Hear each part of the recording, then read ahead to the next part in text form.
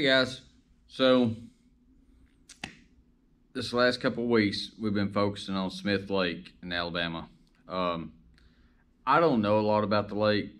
It's hard to fish. It's so deep and it's so clear and it's full of spots.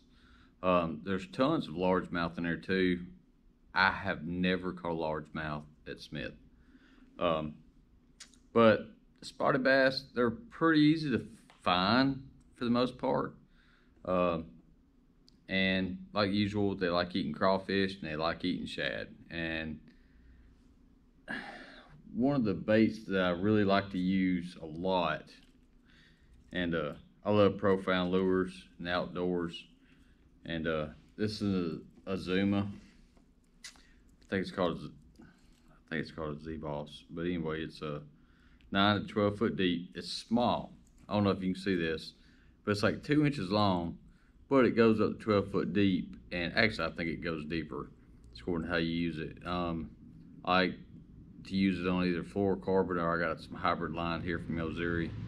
And it's all eaten up with rocks because that is all that uh, Smith Lake has to offer is rocks pretty much, timber. Um, pretty much reel down, and hit those points, I reel down, or either on those flats, around those ledges, as hard as I can. I get it down there, and then, I mean, I'm slow. Like, I can just feel this bait wobbling. Like that right there. And uh, if I hit something, I stop. The boat, that bait floats up just a little bit, and I start again. Um, and it's usually whenever I go down and I'm either going really slow or whenever I hit something and I stop, that there's whenever that bite hits. And that's my favorite bait. I can cover a lot of a, uh, just a lot of bank, a lot of points. Like, I mean, you're fishing crankbaits, you're gonna cover cover a lot of stuff. Uh, you got more throws. Um, this is something I've learned there that's worked really well for me. Um, I like to use shake or wobble heads. I don't know if you can see that. And uh, this is a pretty light one. It's probably like a, I don't know, 3 16ths to quarter ounce wobble head. And I like to use crawls a lot. And I mean, I literally just do this as slow as I can. Like I want to feel it going over the rock. And it's worked out several times for me. It's hard. I mean, you're just pretty much, those fish, that water is so clear, they see everything. And on top of that, they can feel it too. I mean, any kind of little, little stuff that happens here, they're gonna feel that in the water. But you put a scent on there. Um, I, I like to use Bang uh, but pretty much you're just working it over those rocks, over all that stuff that's in there. They see it, and you're working it so slow, you're keeping it right there in that, that place where they know they can hit it with no problem. They grab it. Um, one thing is, I always try to make sure whenever I put my hook on there, it lines up and I barely do the tip of the hook just where it's not showing that keeps it a little bit more weedless. Um, so if it's turning sideways and stuff, it'll just crawl over rocks just like that and not get hooked. Um, but whenever they bite it, they get the hook in them. Um, always, always keep a Texas rig hooked up. One thing with my Texas rigs, is, especially when I'm fishing crawls, um, sometimes with worms, but with crawls, I always try to put beads in there. They're cheap, easy to apply, uh, and basically, I don't know if you can hear that, but it's rattling just a little bit. So every time I kind of bounce that bait around like that, um, it's making a little clicking noise. They hear it they see it. Um, again same thing straight. You want your bait to have a good presentation, um, like it's supposed to be there. And I just barely hook it up underneath the skin just like that, just so there you're not getting hung as much on brush, uh, rocks, this and that. It turns around sideways, whatever, it's not getting hooked because just like I'm doing right there. I mean, I'm not getting hooked. It's just flowing over the top of it. Whenever that fish bites it, boom, there's that hook set. Their mouth and their their mouth hits right here, and then you're setting the hook.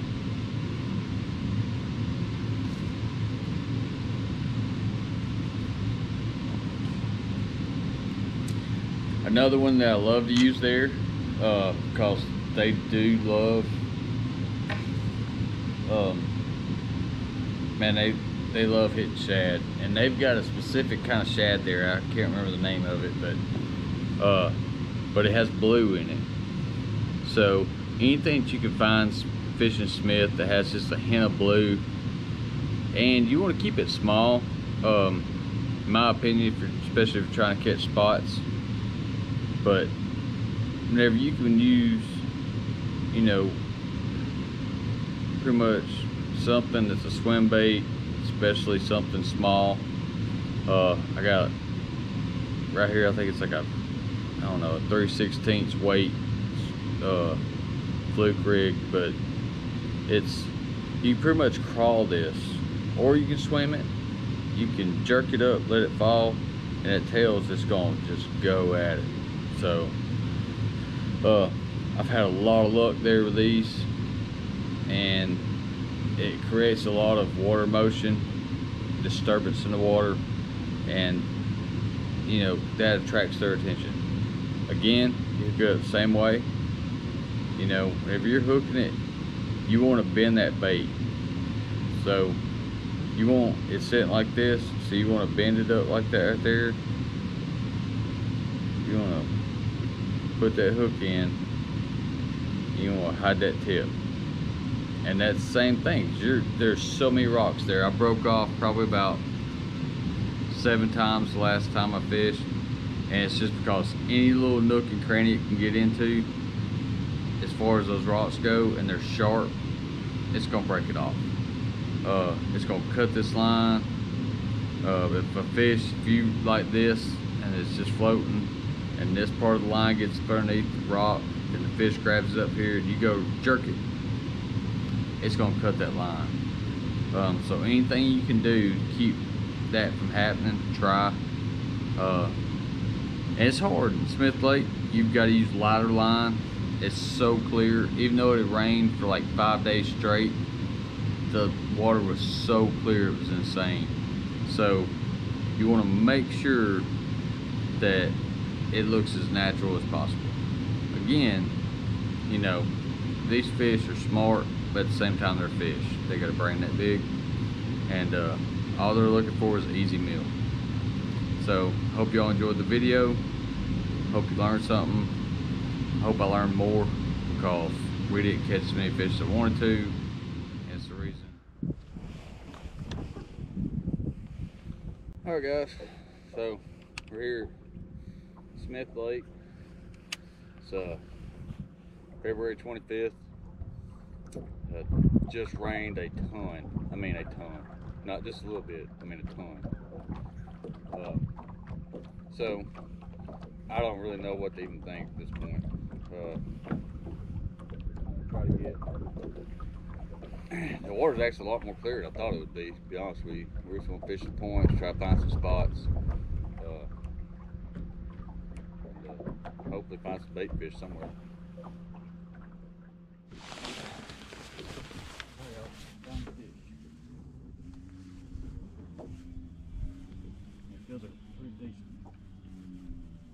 Oh my gosh, it's a monster.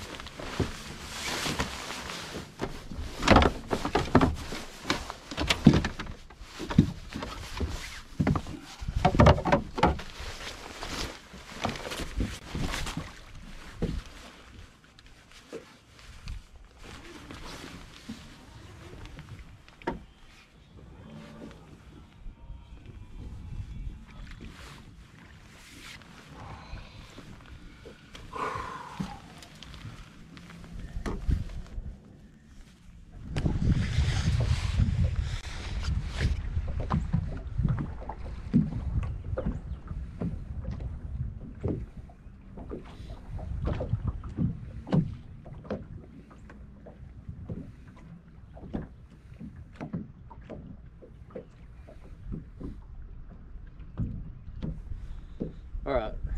So what I'm trying to do is get somewhat of a pattern on these fish. First good fish I caught was in about 16 to 18 foot of water next to a whole bunch of limestone chunk rock off of a point. I'm using a Carolina rig with a crawl. I'm just working it extremely methodically. No, we're gonna keep trying to see if we can get a bite. Try these places, see if they're all in the same kind of atmosphere.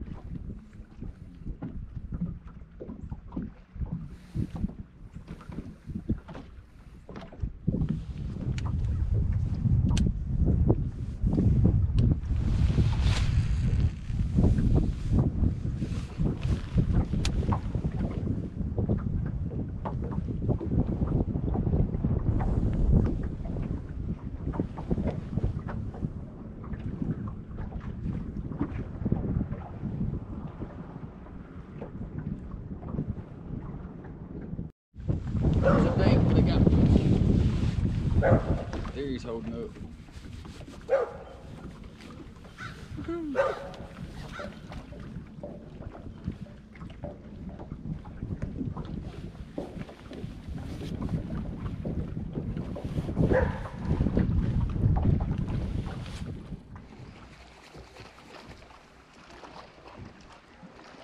Alright, there's a water bait fish back here. And I just had a hit off this jerk bait. I don't know how I missed it.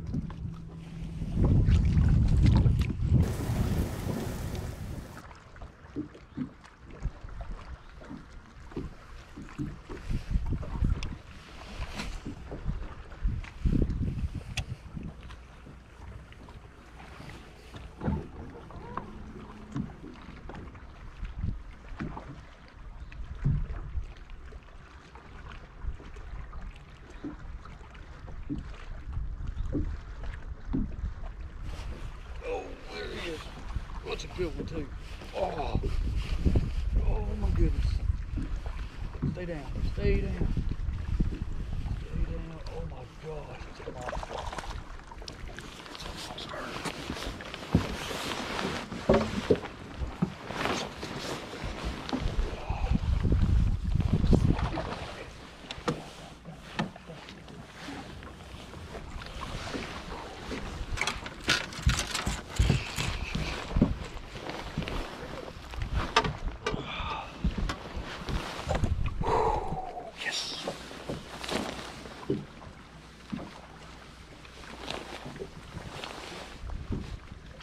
clear the head.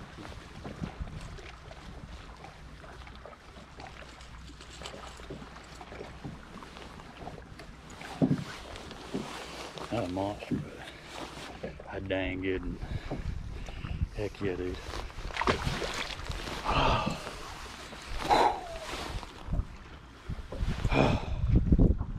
Man, that was actually going to be my last cast of the day. I knew a spot with holding fish. I had to.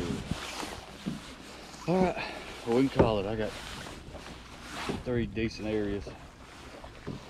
Some different ways of fishing them. Basically, I like the Carolina rig a lot. The crawl on it. Um, caught two on crankbaits today, and then uh, also caught one. Or I had a bite on the uh, shaky head. So that's gonna be our plan for tomorrow. I hope it works out. I hope the guys keep baits in water and keep their heads up. It's gonna be really cold. Uh, it warmed up a little bit today. I don't know that it's going to tomorrow. The wind will hold off, it'll help. But we're gonna go after it and see what we can't do. Thanks.